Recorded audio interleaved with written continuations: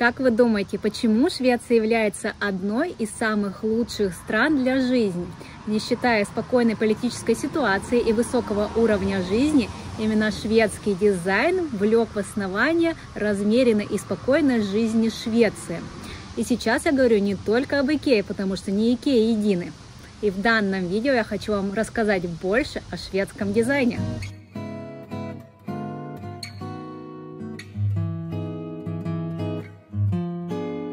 Сегодня я хочу показать вам два места, которые на самом деле очень разные и отличаются от нашего будничного представления о шведском дизайне. Но именно такие места и ложатся в основу шведской жизни и умения жить по-шведски. Меня зовут Инна, я дизайнер и иллюстратор. В данный момент я учусь в Братиславе на текстильном дизайне. И на своем канале я рассказываю о жизни в Словакии, о путешествиях по Европе. И также я рассказываю о искусстве и о дизайне в целом. Поэтому если данные темы вам интересны, оставайтесь. Ну а мы с вами пойдем узнавать и исследовать, что же такое шведский дизайн и почему он так влияет на шведскую жизнь.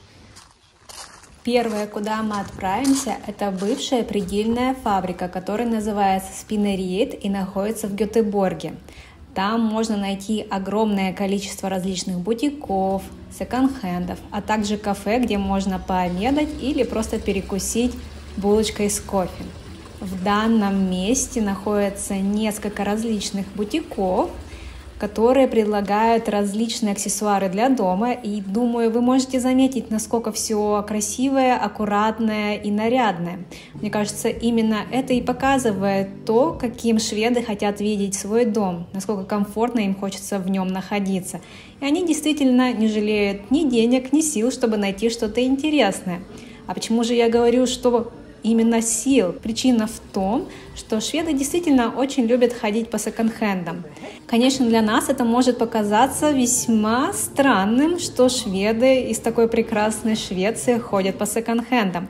Но именно там можно найти самые уникальные и удивительные вещи, которые уже давным-давно не сможете найти в магазине том числе, покупая вещи в секонд-хенде, вы поддерживаете экологию, не занимаетесь масс-потреблением, а также вы всегда можете стать хозяином какой-то уникальной вещи, которой не будет, скорее всего, ни у кого в округе. Ну и плюс, когда вы ходите по секонд-хендам, вы можете окунуться в ту старую историю, которая все еще очень важна для шведов, для их самоощущения и мироощущения. Поэтому я считаю, шведский секонд-хенд — это отличное место, куда можно пойти и найти несколько сувениров из поездки. Так, например, я очень хотела взять одну шведскую лошадку, в итоге я забыла про нее и осталась без лошадки. Но ничего, может быть, я приеду в следующий раз и найду что-то другое себе по душе. Но помимо секонд-хенда в данном месте можно найти действительно много бутиков, в том числе, которые продают и авторские вещи, и какие-то более масс-маркет вещи. Каждый этаж, каждый бутик — это отдельный мир, куда хочется зайти, все изучить и желательно выйти с какими-то впечатлениями и, может быть, вдохновением, а может быть, даже и приобрести что-то. Ну, я вам предлагаю просто пройтись вместе со мной и посмотреть на всю эту красоту. Само здание тоже весьма колоритное, так как это старая предельная фабрика, то здесь огромные панорамные окна, здесь действительно очень атмосферно, и это создает какой-то особый шарм данному месту, что по нему хочется ходить и ходить и изучать его, а изучать там очень много всего есть. Здесь можно купить не только какие-то вещи для дома, но также можно найти и различную одежду. Правда, нужно учитывать, что большинство одежды все-таки созданы для шведов, которые довольно высокие, и для них та одежда, которая представлена в данных магазинах, подойдет. А вот мне с моими низкими 157 сантиметров такое вряд ли подойдет, к сожалению. Но там есть на что посмотреть в том числе на различный текстиль. Также есть магазин с пряжей, который просто интересно пойти и пощупать, посмотреть, из чего вообще вяжут шведы там. Но и что мне понравилось больше всего, это один дизайнерский магазин, который продает различные принты с Гетеборгом или с какой-то шведской или морской тематикой. Вы только посмотрите на всю эту красоту. Я просто ходила с открытым ртом, все снимала, и мне было так по кайфу находиться в этом месте, что я хочу вам его показать, чтобы вы посмотрели буквально все, что видела я. И посмотрите, какой действительно очень приятный и красивый текстиль. И что интересно, на многом текстиле одни и те же дизайны повторяются, но они исполнены в совершенно разных техниках. Например, вышивка или печать, или что-то вроде гобеленного ткания.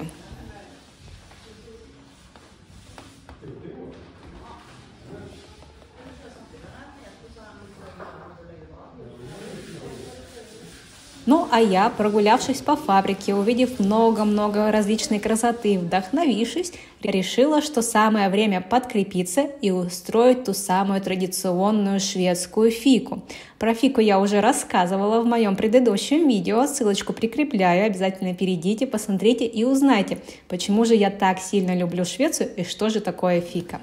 Ну, а мы вместе с моей подругой Ланой, про которую я тоже уже рассказывала, и с которой мы уже вместе побывали на одном замечательном острове. Ссылочку также прикреплю. Посмотрите, насколько прекрасно шведское побережье. Так вот, вместе с Ланой мы отправились пить кофе. Мы взяли две чашечки кофе и два десерта. На все это я потратила 150 крон. Перевод на евро прикладываю к видео, если вам это интересно, посмотрите. Но что мне нравится больше всего в шведских э, заведениях, это то, что вы можете наливать себе кофе самостоятельно. То есть всегда стоит отдельный стол, где можно налить себе кофе, налить нужное количество молока. Молоко может быть как обычное, так и вегетарианское. И уже вот с таким вот собственно приготовленным кофе отправиться и сесть наслаждаться своим десертом. Я взяла десерт с рабарбаром, он был довольно сладкий, но в то же время кислый. Мне очень понравилось сочетание. А погода хоть и была дождливая и немножко прохладная, сидя в такой вот веранде, было очень приятно пить кофе и наблюдать за капающим дождем за окном. Но вы только посмотрите, как же здесь красиво. Ну а второе место, которое я хочу вам показать, это Свенгст Тен. Мы уже находимся с вами в Стокгольме, на одной из самых дорогих и фешенебельных улиц. Название улицы прикладываю и адрес данного магазина также. Если вы вдруг будете в Стокгольме, очень советую туда зайти и посмотреть, потому что это не просто магазин, это настоящий музей невероятной красоты. Но прежде чем я пойду вам показывать всю эту красоту, предлагаю вам немножко послушать, что же такое Свенгстен. Расскажи немножечко местный дизайн. Сейчас мы находимся в Свенгстен, в магазине Свенгстен, и данная, данная фирма начала свое существование в 1930 году. Эстрид Эриксон организовала данную фирму на свои деньги, которые достались ей от отца. И через несколько лет она пригласилась к себе на работу Йозефа Франка. На тот момент он был архитектором. Как я уже рассказала Насте, моей подруге художнице, кстати, у нее есть тоже YouTube-канал, я его прикреплю. Обязательно перейдите, посмотрите, что Настя рассказывает на данную тему. Так вот, сидя за чашечкой чая с бутербродом из селедки и мяты, очень удивительное сочетание, но мне очень понравилось. Так вот, я рассказывала ей о том, почему же мне так интересен Свенгстен и что же это такое. История Свенгстен началась в 1924 году, в октябре, когда школьная учительница из Смоланда Эстрид Эриксон решила организовать свой собственный магазин. От денег, которые достались ей от отца, она открывает небольшой магазинчик, в котором хочет продавать красивую железную посуду, чтобы украсить жизнь шведов. Уже в 1925 году Эстрид Эриксон получила награду в Париже. А в начале 1930-х годов к Эстрид присоединяется и Йозеф Франк. Именно он создал огромное количество различных дизайнов, которые вы сейчас можете видеть на экране. Именно он стал отцом всей вот этой вот красоты, которую вы сейчас можете видеть. И дуэт Эриксон и Франка действительно занял очень хорошее место в своей нише. В какой-то момент данный магазин стал очень узнаваемым, очень популярным. Даже сейчас посещает данный магазин можно не переставая вдохновляться каждым дизайном, который сотворил Йозеф Франк, и они все еще очень популярны среди покупателей. Ну, конечно, нужно понимать, что это не масс-маркет, и цены там действительно выше обычных, но я считаю, оно того стоит, потому что Франк вложил в каждый дизайн какую-то частичку своей души, а вот эта вот вся огромная палитра цветов так и притягивает взгляд. Сам Франк за всю свою жизнь и работу вместе с Эриксон в Свенгстен создал более 250 оригинальных дизайнов для ткани, которые все еще используются. Но кроме тех дизайнов, которые сотворил Йозеф Франк, также и молодые дизайнеры работают с данной маркой, создавая все новые и новые дизайны. Помимо текстиля, здесь также можно найти огромное количество мебели, также по дизайнам Йозефа Франка, также какие-то маленькие детали для вашего интерьера. И все настолько продумано и хорошо смотрится вместе, что выглядит на порядок лучше того, что можно найти в Икее. Хотя Икею я тоже очень сильно люблю.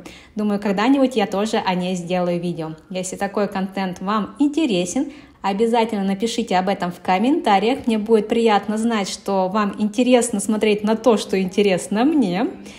Ну а мы давайте с вами насладимся просто всей этой прекрасной красотой.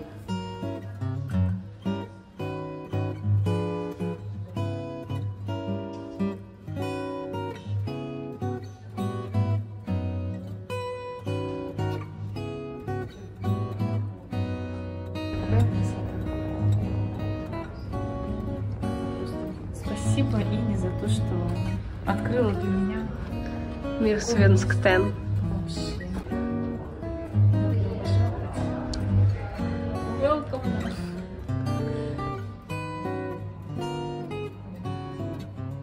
Спасибо, что досмотрели видео до конца. Надеюсь, оно вам понравилось. Если да, обязательно поставьте лайк, подпишитесь на канал, если этого еще не сделали.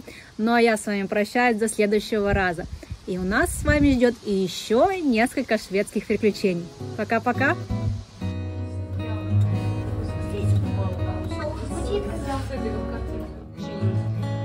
Сдержанным а потом превратился в иллюстраторов шведского и рисовал вот такие смешные и всякие разнообразные картинки.